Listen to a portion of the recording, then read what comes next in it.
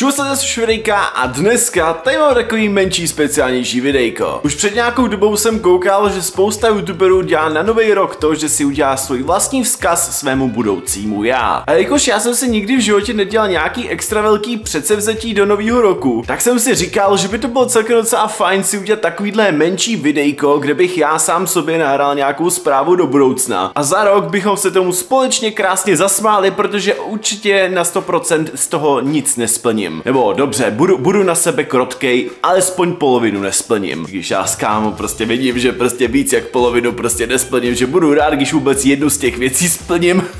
těch věcí, co mám jakoby nějak jakoby sepsaných, co bych já třeba do toho dalšího jako nového roku chtěl prostě nějak jako reálně udělat, nebo prostě co bych opravdu chtěl, aby se stalo, je docela jako dost. Na to teda, že teda opravdu nikdy v životě jsem si žádný předsevzetí extra velký nedělal, tak je to fakt jako na mě docela úspěch, že jsem dokázal tolikhle toho vymyslet. Takže tak lidi, pokud se vám toto videjko bude líbit a už se teďko těšíte na to, jak v podstatě za rok já tady prostě budu říkat, že jsem nic toho nesplnil, tak hoďte like, mrkněte se když tak na merch, který máte když tak dole v popisku videjka videa, anebo se když tak samozřejmě podívejte na můj Instagram, který máte když tak teďko tady pode mnou a hoďte mi tam follow, budu za to moc rád. Jdem se do toho lidi instantně vrhnout a začneme prostě nějak úplně od začátku. Čau kámo, prosím tě, hele, mám pro tebe tady takový krásně velký vzkaz, jo. Minulý rok jsem totiž dostal takový dost divný nápad, že si prostě natočím videjko, který teďko bude právě směřovaný k tobě. A v tom videjku ti právě krásně řeknu, co si měl udělat v roce 2023. Takže kámo, fakt doufám, že jsi si na ty věci nevykašlal a ale alespoň některý z toho si splnil. Protože jestli se fakt jako vykašlal na úplně totálně všechno, co tam je, tak jako kámo už fakt nevím jako co s tebou. Hele, začneme asi tím nejvíc nepříjemným, co na tomhle seznamu mám. A to je to, že kámo doufám, že si konečně začal cvičit. Nebo minimálně alespoň to, že si doma začal něco dělat. Bez legace moje starý já furt si neustále říkám, že bych měl něco začít dělat už dobrý momentálně tři roky, tak kámo fakt doufám, že v roce 2023 si začal něco za sebou dělat a že si to svoje panděro krásně jako konečně zhubnul. Ale jako, aspoň těch pár kilo, když půjde dolů, tak budu na 100% za tebe spokojený. S tím se taky samozřejmě má to, že doufám, že si konečně přestal pít tolik kolů. Kámo, ty jsi úplně totálně na té kole závislej, ty nepiješ vůbec nic jiného. Takže kámo, fakt doufám, že si přestal ve velkým pít kolu a že si začal pít třeba, já nevím, normálně jenom vodu prostě. Nebo aspoň nějak jako nějaký méně slazený nápoje, prostě kámo, slib mi to, že si to udělal. A zároveň zároveň ještě s tímhletím se má další věc, že doufám, že si začal trošku víc chodit ven. Ale bez legrace, co si budem, byl tady covid, který prostě všechny nás tady zavřel vevnitř a od té doby kámo se snehnul prostě z baráku ven. Tak doufám, že prostě si začal chodit víc ven, přece jenom ten rok jste se měli stěhovat, takže na to taky určitě potom přijde řeč. Doufám prostě, že si začal dělat nějaký věci venku, že jste začali chodit s makinou víc na procházky s holkama. No schválně, pochlup se. Zároveň, když jsme teda mluvili o tom baráku, tak doufám, doufám, že jste s Makinou dostavili dům. Přece jenom rok 2023 jsme říkali s Makinou, že chceme samozřejmě stavět barák, tak doufám, že jste ho dostavili a hlavně doufám, že jste se přestěhovali. Kámo, jestli mi řekneš, že jste ještě stále v tomhle bytě, ve který jsem momentálně já v roce 2024, tak já se fakt z tebe zblázním. Bez se ten dům by neměl trvat přece tak dlouho na to, aby se to dostavilo, takže doufám, že jste se krásně v létě přestěhovali a že to všechno proběhlo krásně dobře v pohodě. Jako dobře, pochopím ještě třeba, že nemáte dodělanou zahradu, třeba, že nemáte dodělaný možná ještě ani plot, ale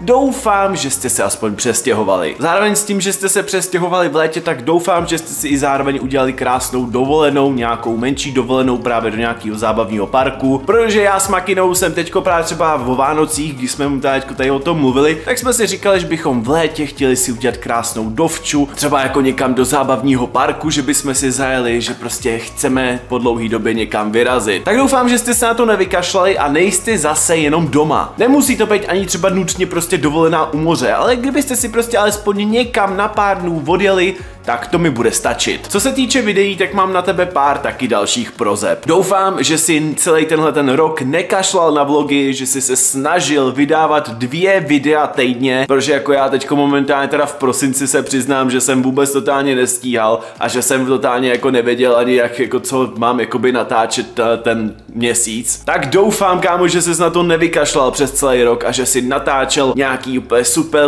super ultra vlogy a že si začal být trošičku trošičku v tomhle i víc kreativní, jo? Tak kámo, doufám, že se ti to podařilo. S tím se taky i zároveň má jedna věc a to to, že doufám, že si kámo přestal konečně kašlat na Instagram a začal se nějak normálně fotit. Protože já s Makinou máme celkem docela dost velký problém s tím, že právě jak nechodíme ani ven nikam, že jsme skoro furt neustále doma, takže vůbec se nijak nefotíme na Instagram. Že vůbec totálně na Instagram nepřidáváme žádný fotky, tak kámo doufám pro tebe, že začneš konečně přidávat nějaký fotky na Instagram. Ale bude mi stačit, když budeš přidávat minimálně jednu fotku za týden. Bez legace bude mi to stačit, protože sorry, dávat čtyři fotky za měsíc je furt daleko víc, než dávat jednu fotku za tři měsíce. A to, že jsem třeba teďko fakt jako reálně to takhle dělával, tak doufám, že jsi se na to nevykašlal. Taky zároveň doufám, že jsi udělal nějaký vlog ohledně toho, jak jste se v podstatě stěhovali s Makinou, že jste v podstatě natáčeli nějaký stěhování, nebo že jste potom ve finále natáčeli, jak to vevnitř vypadá. Protože co si budem, tak jako my v prosinci jsme teďko si nějak jako by dozvěděli nějakou jako informaci, která nás celkem zamrzela a vlastně ve finále jsme nějak jako potom ani neměli náladu natáčet nic ohledně baráku. Takže jsme to trošičku i překopali a říkali jsme si, že možná uděláme až nějaký videjko, až bude barák možná dostavený, ale to jenom možná. Takže jsem celkem zvědavý, jak se to ve finále udělali. Zároveň jsem celkem zvědavý, kámo, jestli si tenhle ten rok už konečně dal 100 000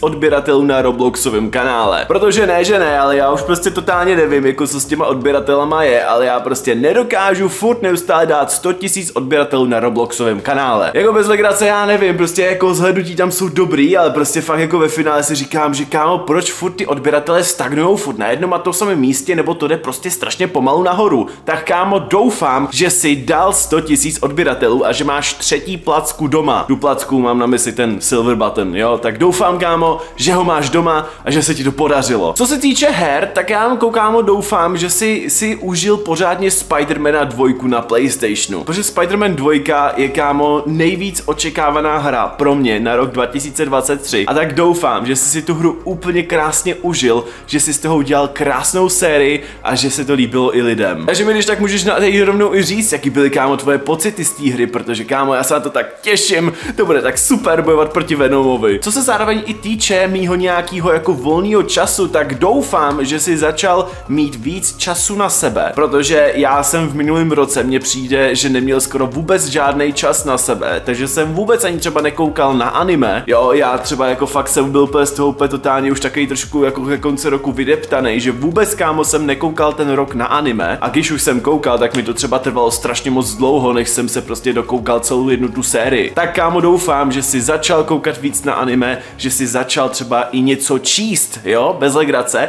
Mohl by si konečně přečíst nějakou knížku. Já vím, že se ti nechce, ale prostě, no, mohl bys, kámo. Ale ohledně toho anime fakt jako doufám, že si začal trošku jako nějak jako na něco koukat, protože sorry, jako chtělo by to dokoukat nějaký ty topovky, takže doufám, že jsi se do toho nějak jako dostal. A pak tady mám poslední věc pro tebe, protože co si budem, rok 2022, 2021 a rok 2020, no možná i 19, tak byly docela dost krušný. Mám teďko na mysli to, že byla, že jo, samozřejmě nemoc, covid tady byl, byla tady nějaká ta válka, tak kámo doufám, že se všechno ve světě uklidnilo konečně a že tady na sebe teďko nebudeme koukat a říkat si, že to bylo ve finále ještě horší. Tak kámo fakt doufám, že ve světě teďko to má na pohodu, tak jo, řekni mi jaký to je. No a tohle jsou asi cca všechny věci, které jsem si pro tebe připravil na tenhle ten rok. Doufám, že si rok 2023 prošel úplně v pohodě, že nebyly žádný problémy. S Makinou krásně bydlíte v baráčku, který jste si vysnili a že prostě je to úplně nejvíc na pohodu, jak by to mělo být. Jestli ne, tak mi všechny ty problémy řekni právě teď. No a tady můj krásný vzkaz pro tebe končí. A zároveň lidi, tohle to je i zároveň konec tohohle videjka, takže já fakt doufám, že tenhle ten vzkaz si za rok my společně pustíme a docela dost se třeba i nad tím zasmějeme, že ve finále řeknu, že polovina z těch věcí